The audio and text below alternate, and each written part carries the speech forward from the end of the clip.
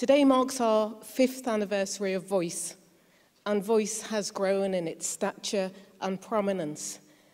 Voice 09 is the national conference for social enterprises in the UK. We come together and it is about um, listening to some keynote um, presentations from some eminent speakers, but also it is about us getting together to share knowledge and also to do business.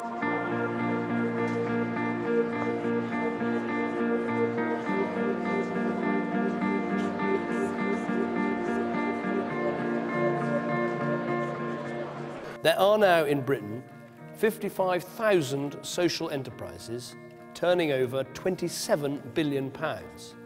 Here in the West Midlands alone, there are 5,500 of them, employing over 150,000 people.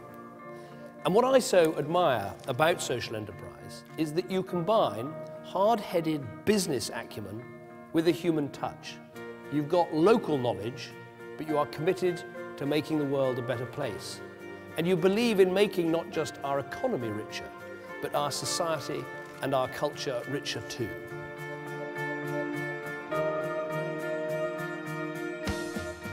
Social enterprises are born out of grassroots activity.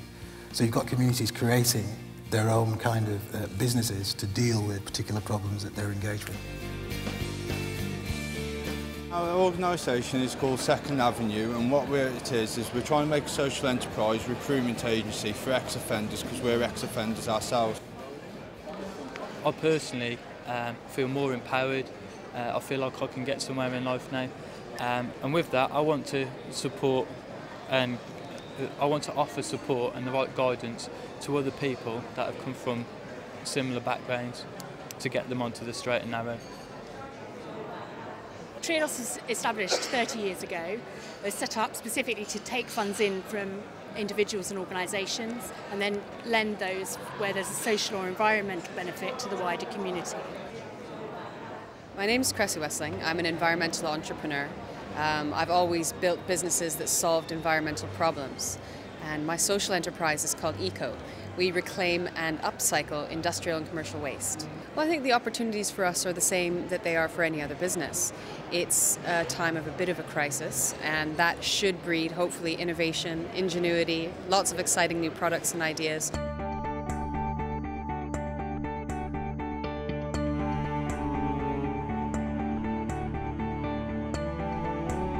All around the world, you know, social enterprise is in effect initially movement because it's a, it's a consumer movement. I mean, well, we're shifting from a consumption-driven economy to a consumer-powered economy. And what social enterprise does is it reveals to people that they have a power in, in, in where they choose to buy. It, we grew up hearing about the boycott. I'm interested in the buycott. You know, what's the incentive to, that creates, not just for social enterprise, but for all businesses, this notion of like, you know, wow, there's a consumer that is looking for something more than just a product. They're looking for meaning too. Your creativity dynamism and compassion and ingenuity is absolutely central to the good economic future we must build in our country. Social enterprise really is value driven in ensuring that it isn't, it just isn't um, driven by profit. It's driven by what it can do to change our communities and change the lives of indiv individuals while still making a profit.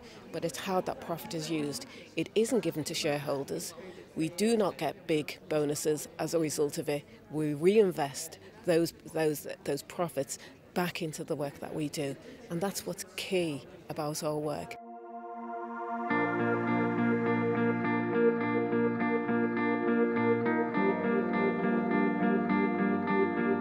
Social enterprise right now has an amazing opportunity in, in the global economy because there's a, there's a frustration. The public in general is feeling really taken advantage of. And there's almost a populism rising up that I think social enterprise speaks to. What we're saying in effect is you, the consumer, have the ultimate power at the end of the day. You can, you can, you can empower a corporation that doesn't, that is almost abusing you, or you can empower something that keeps the money local and really shows you respect, gives you an opportunity to be part of something much bigger.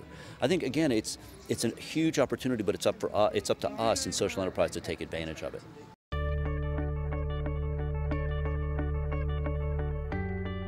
Well, this has been our most successful voice conference yet. We've had over a thousand people here um, and we've had some really important uh, discussions and debates. We had David Cameron setting out the need for uh, a marketplace where social enterprise can operate in a fairer kind of business.